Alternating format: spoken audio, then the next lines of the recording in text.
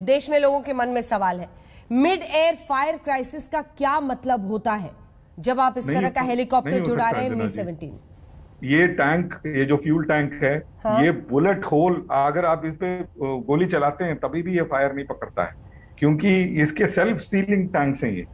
ये जो fuel tank है ये सिविलियन जहाजों की तरह नहीं है। आप इस पे आप एल भी दाग दें तभी भी ये फायर नहीं लग सकता। ये जो फायर देख रहे हैं आप आप जो चला रहे हैं ये नीचे गिरने के बाद टैंक फट के जब बाहर फ्यूल गिरा है तब आग लगा है। टैंक के अंदर ये, इसके रोटर पे मल्टीपल गोलियाँ लग चुकी हैं। और इसके बाद हमने कारगिल मैं- कारगिल में हमने देखा है। रो, रोटर पे गोली लगने के बावजूद ये हेलीकॉप्टर उड़ता है। ये यही मैं लिखा हूँ ये जहाज़ एक टैंक की तरह है। Mid air fire crisis impossible है। और ये ये हेलीकॉप्टर बना ही कॉम्बैट कंडीशंस में इस्तेमाल करने के लिए। ठीक और है। इसमें आईआर सप्रेसेंट हैं रडार जैमर्स हैं कई कई सारी बातें निकल आ रही हैं कि मिसाइल मारा है ये है वो है ये सारी कॉन्स्पिरसी थियरी है इसको दरकिनारे किनारे करना चाहिए। और इंक्वायरी और इसका जो जो ब्लैक बॉक्स कहते हैं फ़्लाइट डेटा रिकॉर्डर ये दस हज़ार पैरामीटर रिकॉर्ड करता है हर चीज़ को रिकॉर्ड करता है।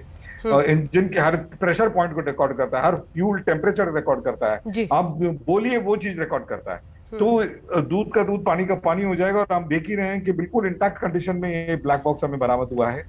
और कल परसों नरसों तक ब्लैक बॉक्स की सारी चीज़ें आ जाएँगी। ठीक है। लेकिन इंक्वायरी में उसी, समय उसी का वेट कर रहे हैं सर उसी का वेट कर रहे हैं। अमिताभ रंजन ग्रुप कैप्टन भी हमारे साथ रिटायर्ड जुड़ गए हैं। अमिताभ रंजन जी आप बताइए।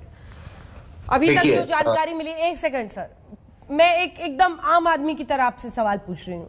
लोगों को अलग अलग तरह की जानकारी मिल रही है। कई लोगों को यह बताया गया है mid air fire fire crisis हो गया, जो वहाँ पर चश्मदीद थे, कुछ ने बताया कि शरीरों में आग लगी हुई थी।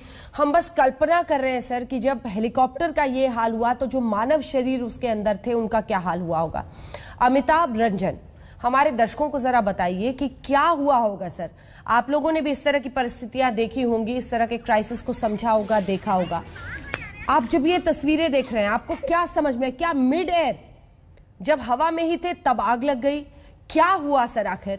मौसम खराब सबसे सेफ़ इसे वीआईपी हेलीकॉप्टर माना जाता है। फिर क्या हुआ सर? देखिए मैं ग्रुप कैप्टन अगस्टिन की बात से सौ प्रतिशत सहमत हूँ कि ये हेलीकॉप्टर एक टैंक है। मेरे खुद के जहाज़ में कम से कम एक या डेढ़ हज़ार गोलियाँ लगी हैं। हाँ। खुद मैं फ्लाई कर रहा था तब लगी है। और उसके बाद हम उसको उड़ा करके करीब छह घंटे दूर अपने बेस तक वापस पहुँच पाए। ठीक है। तो ये टैंक है।